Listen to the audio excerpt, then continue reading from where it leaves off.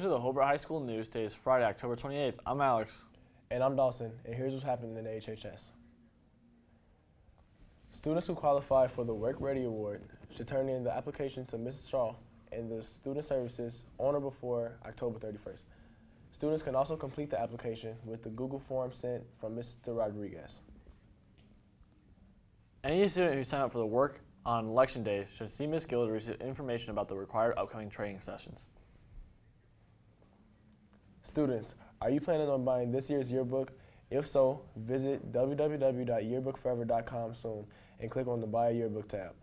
If you have any questions, see Mrs. Bagone in room 2307.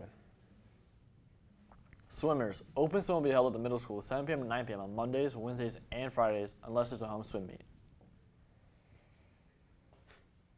Students, do you have pictures of yourself and friends that you would like to see posted on the TVs in the Great Hall? Mrs. Hamilton is looking for school-related, school-appropriate photos of students during their normal day at HHS. If you want to see your face on the TV, submit a photo to Mrs. H. You can share them to her at the link below.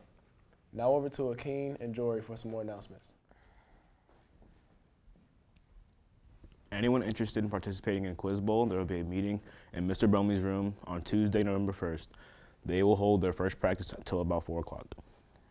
French Club is going to Cafe Fondue on November 1st. Money was due this morning before school. If you haven't turned it in yet, please do so ASAP.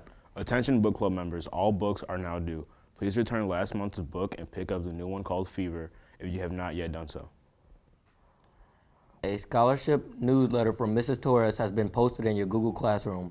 Be sure to read through it and share it with your family. We'll be back with Dawson and Alex for some more announcements right after this short break. Hey, Lissa, haven't heard from you in a while. Let's go see a movie soon.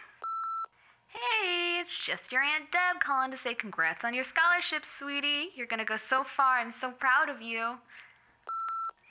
Hi, this is Dr. Brown's office. We are sorry to inform you that you have in fact torn your ACL. Please give us a call immediately. Hello, this is your pharmacy calling. Your doctor has refused to, pre- to refill your prescription. Please contact us. Thank you. Hey, Liz, I hear your pain meds have been cut. I think I can get some pills from my mom's medicine cabinet. Let me know. Hey, kiddo. How you feeling? Your mother says you haven't been yourself. I'll be back in town tomorrow. Let's grab some lunch and talk. You know I love you. I hope you like that little gift I gave you. Let me know when you want another hit. Hey, it's Aunt Kate and family. Happy birthday, dear Lissa.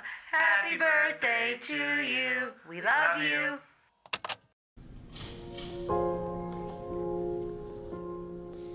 More than 1,600 teens begin abusing drugs each day. 12 to 17 year olds abuse prescription drugs more than ecstasy, heroin, crack cocaine, and methamphetamines combined.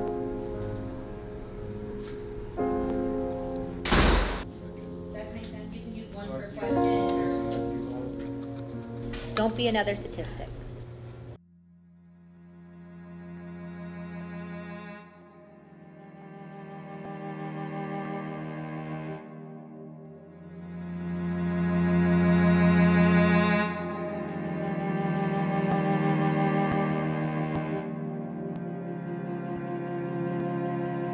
This is the last thing we would have ever expected. We never knew he had this problem. I just wish we could have said goodbye. Students, are you missing your Chromebook charger? If so, they're, they're available for purchase in the Media Center for $20. Be sure to purchase one if needed. And don't forget to come into school with your Chromebook charged every day. Are you having trouble finding a job? Target is looking for employees for the holiday season. Benefits include Target merchandise discount, competitive pay, and flexible scheduling. If you want to make some extra money, stop by a Target store or apply online at www.target.com slash careers. And that wraps up today's announcements. I'm Alex. And I'm Dawson. Have, a great, day, day, HHS.